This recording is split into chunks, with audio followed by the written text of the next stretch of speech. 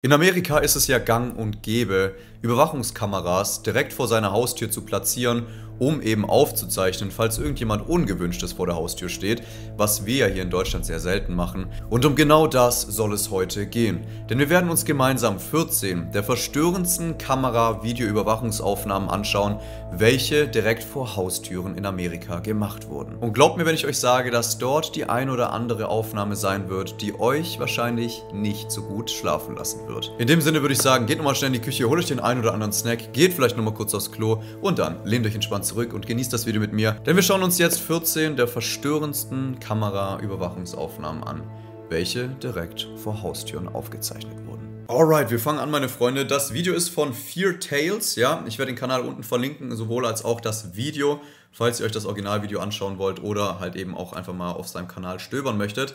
Ich würde sagen, wir legen los. Ich bin super gespannt. Ähm, let's go. Nummer 14. This video showcases two masked men attempting to break into this house the night of an engagement party. Uh, okay, also das ist eine Videoaufzeichnung von zwei Männern, die maskiert sind und in ein Haus einbrechen wollen. Finde ich ja persönlich immer sehr creepy, sowas. Ihnen war auf jeden Fall, ihnen war auf jeden Fall klar, dass, eine auf, dass es eine Kamera gibt. Junge, die brechen die Tür auf. Einfach mit ihrem Popöchen. Can I help you people? Oh. Huh? Get away from there. I'm pulling the cops right now. However, their plans were foiled when a man inside the house yells at them to leave, scaring them off.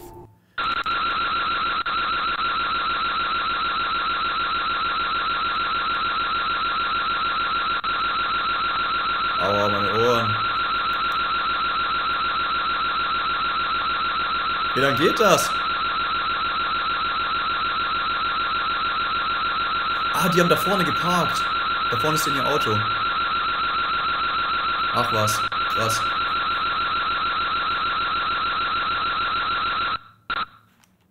Oh, das ist crazy. Das ist richtig gruselig. Überlegt mal. So, ihr, vor allem der, der Besitzer war ja zu Hause. Der Besitzer war zu Hause und die dachten wahrscheinlich, der ist nicht zu Hause und die versuchen da einzubrechen. Boah, das war creepy. Aber gut, dass schnell reagiert wurde und dass die dann abgehauen sind. Dafür sind halt solche Kameraaufnahmen und solche Kameras halt wirklich gut, ne? weil in Amerika ist natürlich äh, die, die Kriminalitätsrate viel, viel höher als hier in Deutschland. Dennoch äh, würde ich auch empfehlen, in Deutschland eine zu haben. Wir haben auch eine. Nummer 13. In this video, we watch a young kid approach this stranger's house in the middle of the night wearing a purge mask. Okay, das ist. Okay, das ist wirklich creepy.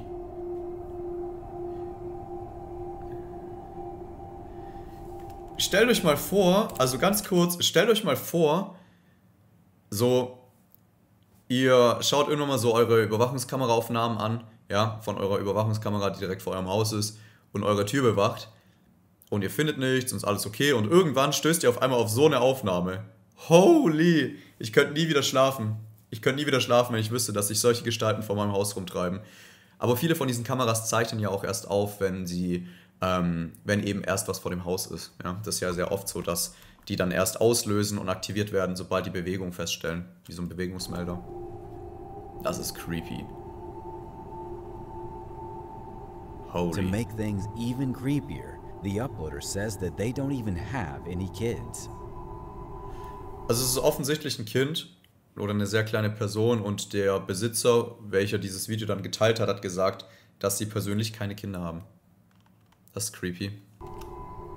Das heißt also, es könnte zumindest kein Kind von ihnen gewesen sein.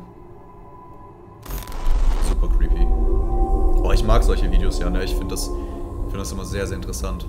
It's pretty clear that this guy has quite the collection of horror movie memorabilia. Oh mein Gott, Alter, was hat der für eine geile Sammlung? Oh. Beetlejuice, Michael Myers, einfach in echter Größe. Oh mein Gott, da oben Freddy Krueger. Oh, das hätte ich so gerne. But little does he know, ich bin so neidisch. in one.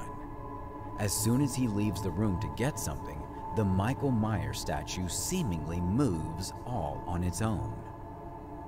Oh lol, die Michael Myers äh, Figur bewegt sich halt wirklich. Wie? Ah, ganz kurz, ich dachte, das handelt sich nur um Kameraaufnahmen, die vor Haustüren gemacht wurden, aber scheinbar auch so Überwachungskameraaufnahmen. Creepy, aber keine Ahnung, hätte man natürlich, hätte man inszenieren können, ja. Also das, er ist halt außen, er ist halt, er hat das Zimmer verlassen, auf einmal bewegt sich das. Also er hätte auch irgendwie eine Schnur oder irgendwie was dran sein können. Also ja, bei sowas finde ich es immer ein bisschen schwierig, deswegen da hätte man auch was inszenieren können. Schauen wir weiter. This person got a ring notification that there was movement at the front door. One of the family members grabbed a gun and opened the door to find a guy there raising his hands and asking for some help. Okay, also das, ähm, der, der Besitzer, welcher diese Kameraaufnahme ver veröffentlicht hat, hat halt eben gesagt, dass die Kamera auf einmal Bewegung festgestellt hat, weswegen sie aufgezeichnet hat und die eine, eine Meldung bekommen haben. Und dann haben sie auf einmal diesen Mann gesehen, welcher anscheinend Hilfe gebraucht hat.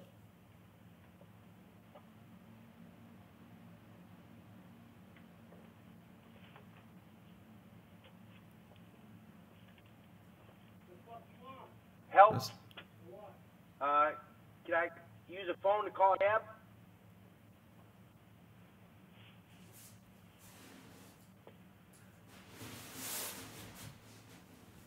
Was zum Teufel?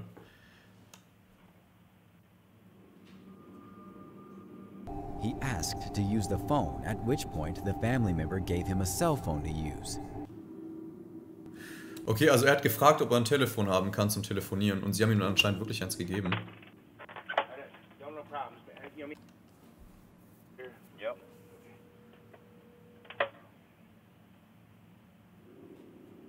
He tried calling someone but had no luck. He then leaves, heading down the road. Was zum Teufel? Er hat anscheinend irgendjemanden versucht anzurufen, aber die Person ist nicht rangegangen und dann ist er halt gegangen. Weird. Also wenn nachts bei mir jemand klingelt und sagt, er würde gern telefonieren, ihr könnt euch sicher sein, ich mache der Person nicht auf. Holy. Nummer 10. The following clip shows the Tombstone Terror animatronic from Spirit Halloween in action, scaring off some kids on Halloween night. Also ganz kurz, das sieht richtig geil aus und das ist, warum ich Amerika so liebe, weil die ist einfach, für die ist Halloween halt ein Riesending, ne? Hier ist es ja leider nicht so, was ich sehr schade finde. Es gibt sehr wenig Leute, die Halloween so wirklich feiern. Aber die Amis, die tun halt wirklich alles dekorieren und ist so richtig crazy und überall irgendwas mit Skeletten und Kürbisse und alles. Und das soll anscheinend eine Deko sein, die Leute erschrecken soll. Bin mal gespannt, was da passiert ist.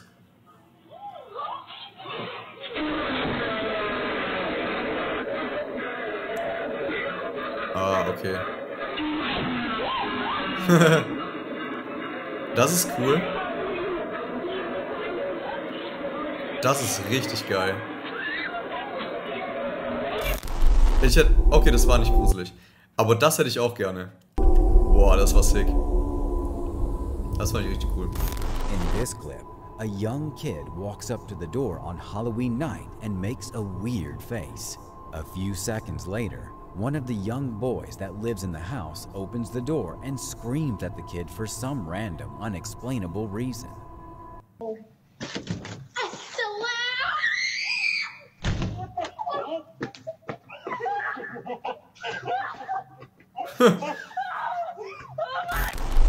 Ich hätte mich auch erschrocken, wenn auf einmal so zwei maskierte Clowns bei mir klingeln. Holy. Da wäre ich ja sowas von raus gewesen. This creepy security footage was recorded in this basement and captures the moment in which a strange, ghost like shadow runs around in the room. Okay, das ist auf jeden Fall eine Nachtauf äh, Überwachungskamera, welche das Wohnzimmer aufzeichnet und dort soll man anscheinend irgendeinen Geist gesehen haben. Hm. Na, ich weiß nicht. Darf, wir haben schon sehr viel davon gesehen und ich finde diese Aufnahmen sind immer sehr merkwürdig. Na, I don't know. I don't know, was ich dazu sagen soll. Nummer 7. This homeowner in Texas found out that this crazy stranger was attempting to break into their house at 1 a.m., and it was all captured on video. Was? Also, okay, da soll anscheinend diese Person versucht haben, bei ihm zu Hause einzubrechen und er hat ihn sich geschnappt. Also irgendjemand wollte da einbrechen und der Besitzer hat es mitbekommen.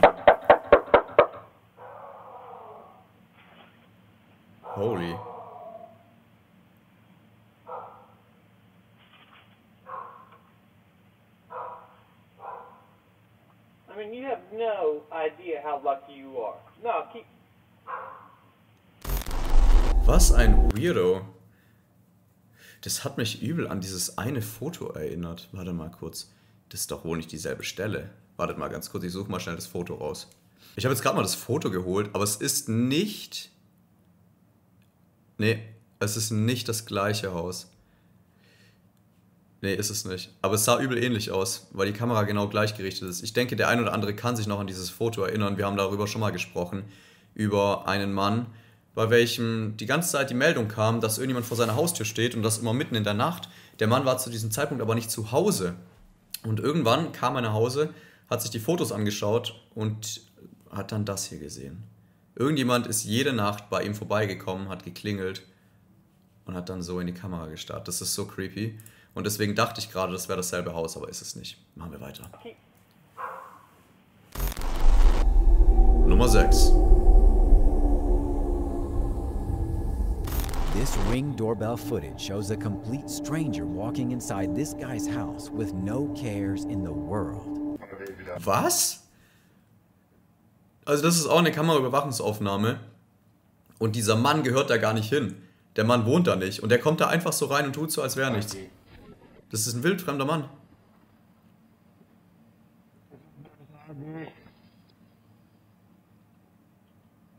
Was zum Teufel?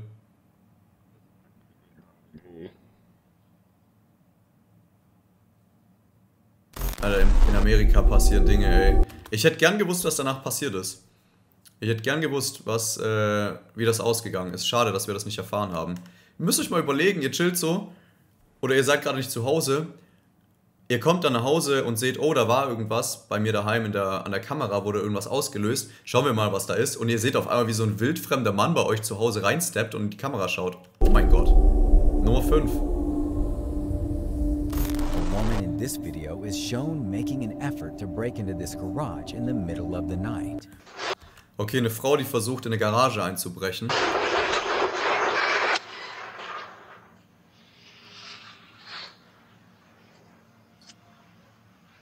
Ew, an ugly. Hi, Jeffrey. Hi, What the hell? What? the- What? What are you doing here? Oh the fat. Ich verstehe leider kein Wort. Jeremy, What are you doing?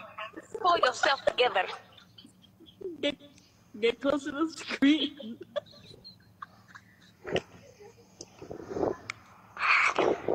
Also es gibt schon echt weirde Leute. Junge, was? Okay, I'm coming.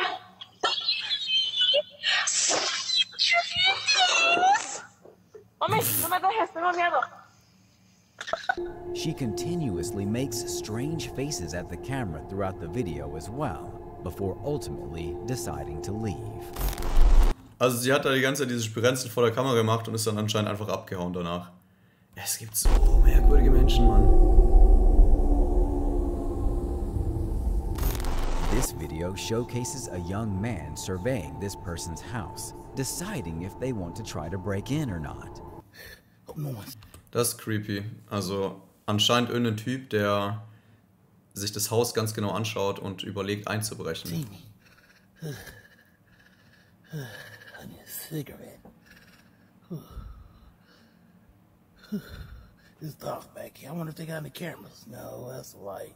Uh, Redet mit sich selbst.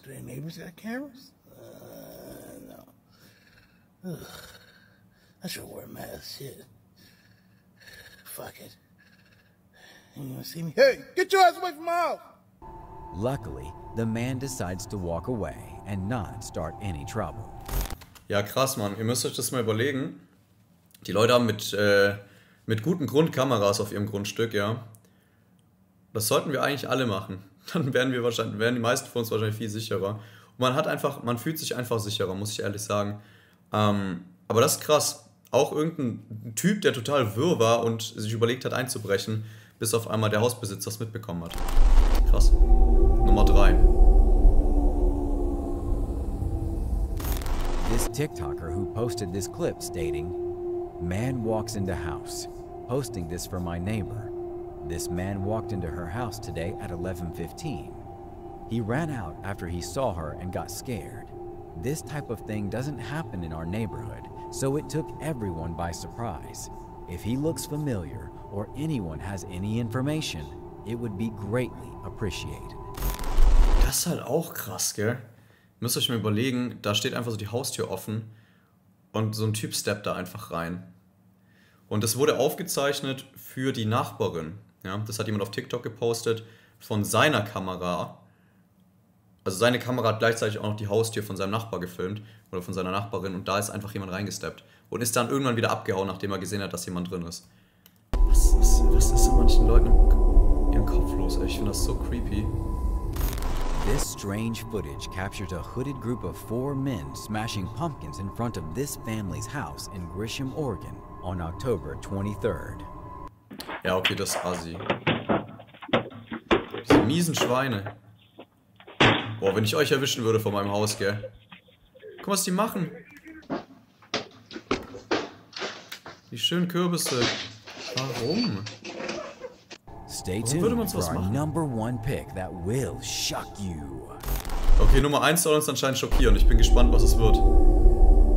Ich bin, ich bin gespannt. One of the family members in this video grabs a gun and gets ready for the worst when this stranger attempts to break in on Thanksgiving. Okay. Ein fremder Mann, welcher an Thanksgiving versucht hat, in ein Haus einzubrechen. What's wrong with him?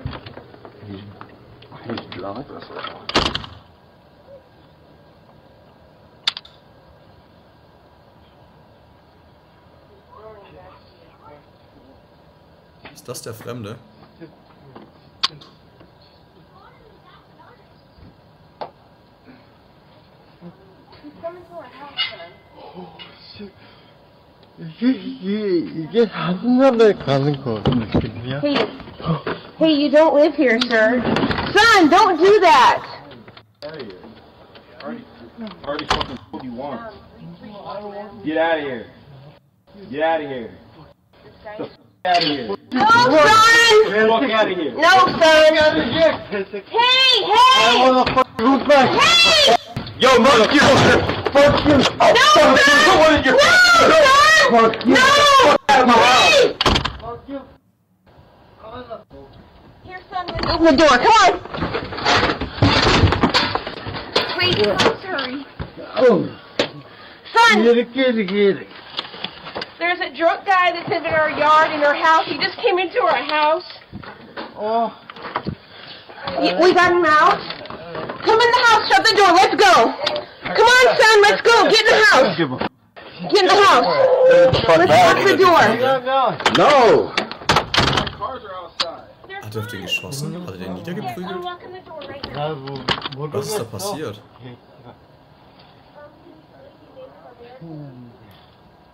Was ist am Schluss passiert?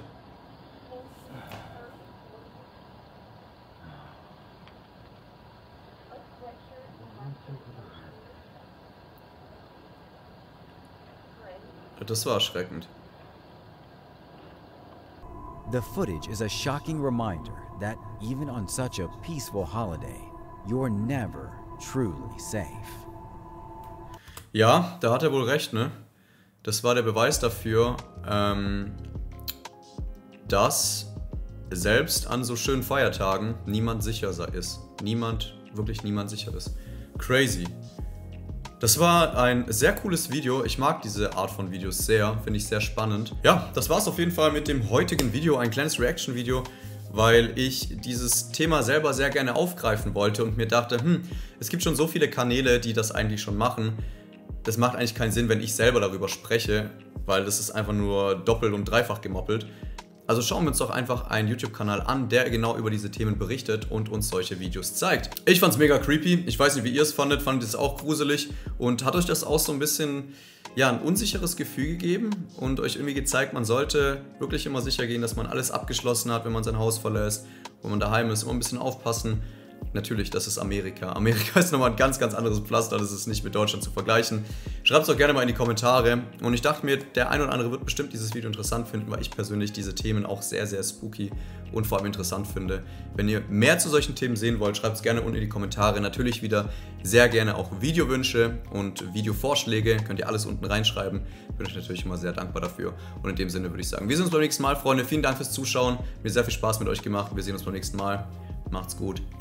Ciao, ciao. Zudem möchte ich mich an dieser Stelle wie immer bei meinen Patreon-Mitgliedern bedanken, besonders der Stufe 2 und 3. Und das wären Alina Eisentraut, Bibi Spooky Gamer Girl, Black Lolita, Black Shiva, CX Sensor, Cyber Psycho XX, Jeff Fuchs, Julian Hausmann, Katharina Bogdanowski, Kinga1613, Löwe 2002, Marie Pantu, Marie 21, Michael F., Nadja Fettgenheuer, Niklas Möller, Patrick und Jenny 2017, Pyrojan 95, Rexy TV, Saskia Pfeiffer, Snicker, Sonat Ümit Sophie, Steffi, Steven Lied, Tombi 27 Jacobi, Totti Botti, Verena Alberer, X Chavi, Yaso Chan, Yvonne, Angelina R., ASMR Ruby, Eisel Beatrice König, Bestie Lea, Betty F., Bloodsworn Breed, Brody's Rainbow, Claudia Stetter, Daniel, Da Passi, DG85, Deluxe, Denna, Ehrenblü, Ella, Enger, Fabienne Janitzer Würsching, Florian Wilding, Fluffy XO, Fresh Callboy, Gabba 192, GameStar, Giuseppe Corrado, Go Hard, Ice Blue, Ist schon okay, Isabel Wernicke, Yannick Peters, Jen Jen, Jennifer Karg, Joel Schnell, Jules F. Mew, Juna Luna, Justin Richter, Kai, Kilian, Kim S., Lara W., Lea, Liam Pascal Falkenberg, live gespielt, Juan J-Ro, Madia Ahmed, Mandy172, Markus Pyrasch, Mario Meyer, Markus Burkhardt, Markus Hübner, Martina, Mary Lou, Matthias HM, Max, Michael, Mira Jane, Mr. Passo, Nancy Koch, Nico Hund, Nikolas Großer, Nicole Seger, Nini, Noah Jones Leitenbauer, NWSHTZ, Rainbow Panda, Sagaria 3, Sangis Angelus, Sarah, Sarah S., Sina Beck, Steffi, Strubbelhaar, Susi Novakovic, Sven Schulz, Tina Karaman, Xenia, Yolandi, Neko Kati, Zephi Rao und Zero Hour. An dieser Stelle natürlich wieder vielen, vielen Dank für euren Support.